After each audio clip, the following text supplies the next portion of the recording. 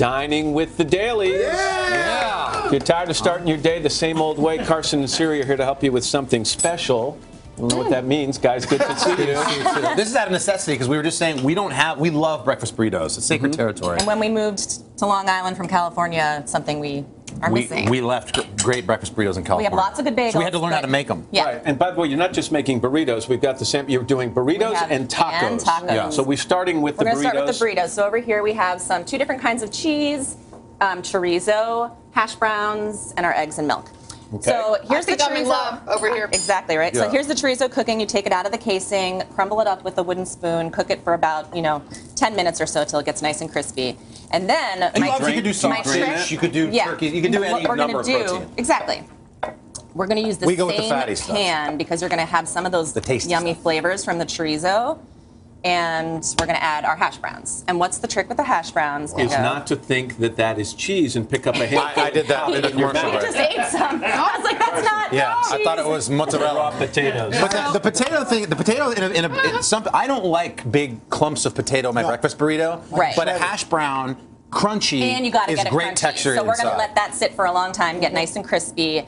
Um, you know, like about 10 minutes again, and then to the same pan. We're going to use a clean one right now, but I use it. I take that out, put it in 'Cause the you same like those pan. flavors. Exactly. We're going to take our eggs. This is 12 eggs and about a half cup of milk. Oh so we'll whisk that up. And Oh, come then on. Give it we'll the scra- whisk. I'm afraid of, um, you know, ever since I sprayed soup on you. um, Funny, I didn't remember that. oh, you didn't? Okay.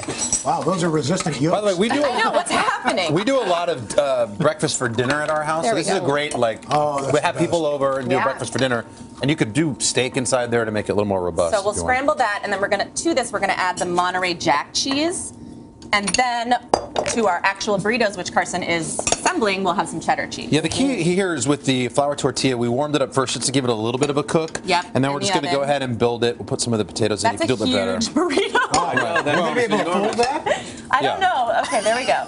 And then the other trick we like to do is after we fold it, which Carson's gonna have a hard Yep, time no, with. it's all right. He'll get Um, it. we're gonna put it on a hot pan with a little Oh, bit of oil. put it back in there because you Yes. got to get some crisp on the outside. I That's like. the key. That's fantastic. this is the key. So All this will crisp up and I it'll want to look make like sure this. we have time for Okay. tacos. Yep. So okay? back here, these are veggie egg tacos. So I'm gonna saute some onions. Careful, that's gonna sizzle. Yeah, That's all right, really ready? hot. And you could use any veggie you have on hand. Mushrooms, spinach would be great in this. And so we're gonna let that like caramelize about 10 to 15 minutes. Season it up. Don't look at me. This is your recipe. I, I'm all about Come that on, chorizo on, burrito. Where's your beer, This by is the way? the healthy. yeah, I do have a beer.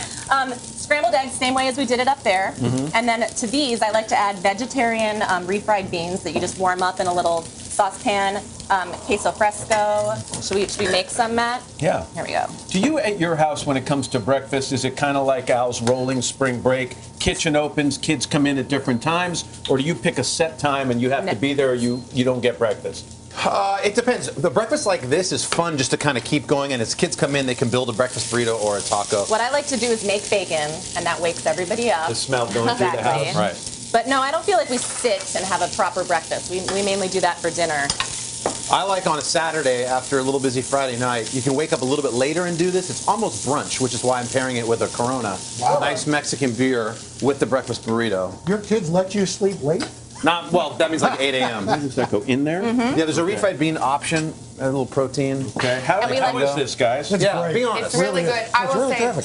What you did Sorry. to that tortilla is everything. Because Very nice. that little brown, Little crisp. it's really good. It's the difference between a really good breakfast burrito and one that's just the not as good. brown. A hash brown. yes. We were Also, tater tots are good, and you can crunch them up and smush them and put Yeah. them in. We were talking before. You guys had uh, almost like Pavlov's dog. When I have this kind of, I need sour cream on top. Yeah, sour I need cream a would be dollop good of sour topping. cream. Yeah, I like was that missing move. a little salsa. That's the only thing I, I like to add. And I Put like stuff hot on the sauce. side. There's hot sauce. Yes, we have avocado, Yeah. cilantro. You can People really are top it with that. anything. Well, guys, So this has been another installment of. Dining with the Dalys. And go to today.com slash food for the recipes. They're back next week to share their favorite pairings.